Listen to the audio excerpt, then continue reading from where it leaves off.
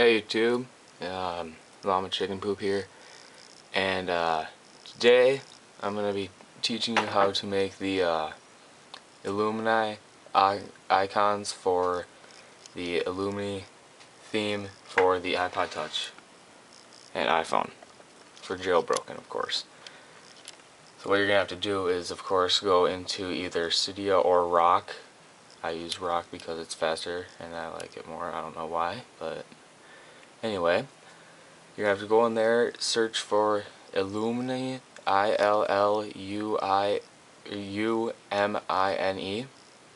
Click search, download it. Then to have to open WinSCP or whatever the heck else you use. I don't really know. I use like the first thing as I see. But you're to open that. You're to um, go to stash themes illumine and then right in there there should be a template document. You're going to copy that either into your documents or wherever you want to save it. And so once you've copied that in you're going to have to find a picture of the app that you need to create. I already have one. It's called iBricks. It doesn't have one in the original Illumini theme. So what you're going to have to do is go up here Open Photoshop, Adobe Photoshop.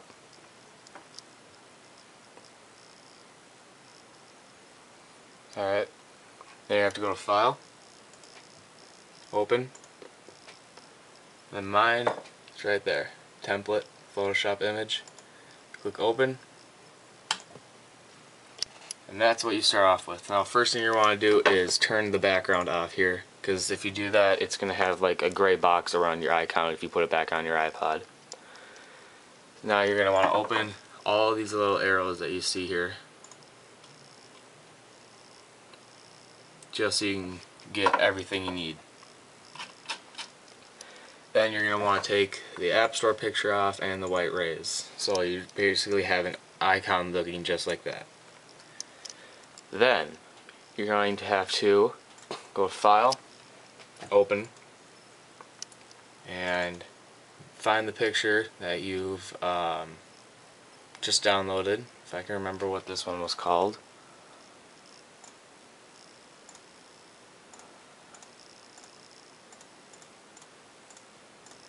Um, there it is. Alright so that's the icon for it. Click open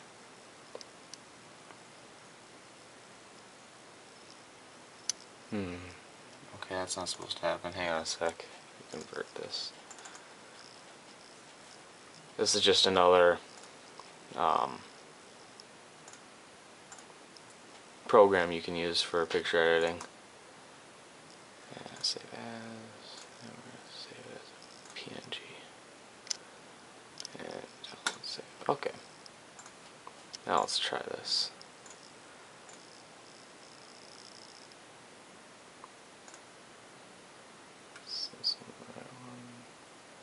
Alright, let's try this.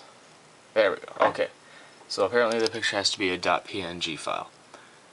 And then if you want to make this a lot easier and save yourself a lot of time, just go up to this button up here and click on this button right here. That will put it so you can see both icons at once. Then what you're going to want to do is just take the layer that you see over here, click and hold, and just drag it over into the one with the icon. Now you're gonna come up with that and you're gonna think you've like completely fucked it all up. Truth is, all you really gotta do is just take this, move it down one layer. I always have it the first one, and then you'll see that it has made itself fit into the icon. So then you're gonna have to go up to here, click the little mouse button, arrange it to how you want it. I think that's how I'm gonna keep mine. Um, this program here. Can also go into image and you can resize it. If you're going to resize it so you can fit the whole picture into the icon you're going to have to resize it to uh, I believe it's 50 by 50 pixels. So do that if you want to make the whole picture fit in there. I sometimes do that for gra more graphical looking icons but this one I'm just gonna not do anything on it. Alright, so then, next thing you want to do is fix the underglow on it. So I think for this one we'll do a gray underglow, or maybe even a green.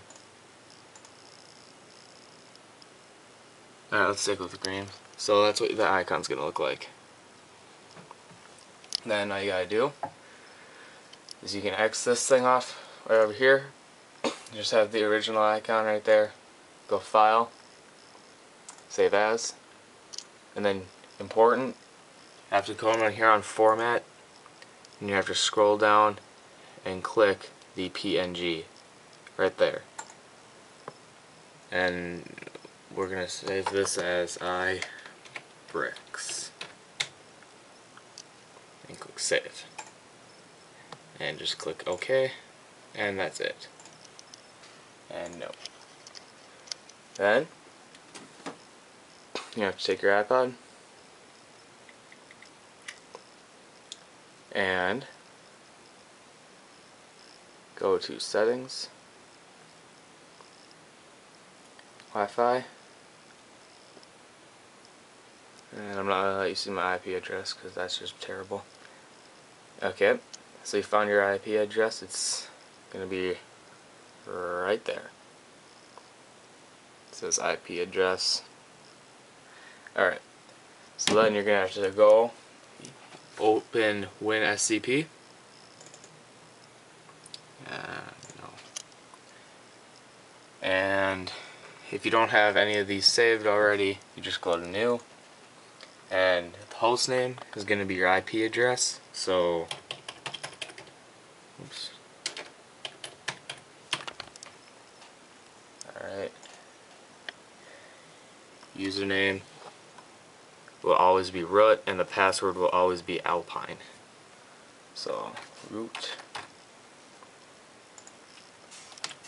alpine. And just click enter and it will search for it. And just click yes. And you're in your iPod. Go back here. Go to stash. Themes and I made my own theme. It's a combination of Illumini and the Alit theme. Looks pretty cool. But anyway I already made this one earlier so I can show you. I resized it and fitted the whole picture in there. It's right there. It's right there, so I'm just gonna cop or rename this to iBricks 2. Click enter and then just drag it and drop straight into there. Click copy. Alright, then you're gonna, uh, I'm going to rename this one to 3. Click enter. Name this one just to iBricks that is the one we just made. Alright, so now you can close this if you want. Doesn't really matter. I'm going to go into your WinterBoard. Uh, I started making a space theme. I I might finish it. It looks okay, but just double tap one of them, and then just click the home button.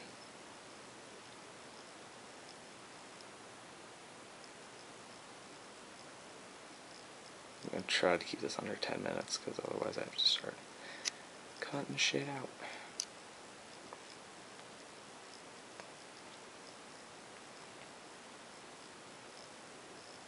Alright.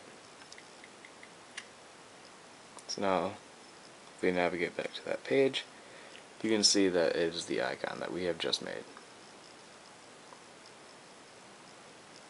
So, that is how you make an Illumini icon and you put it on your iPod.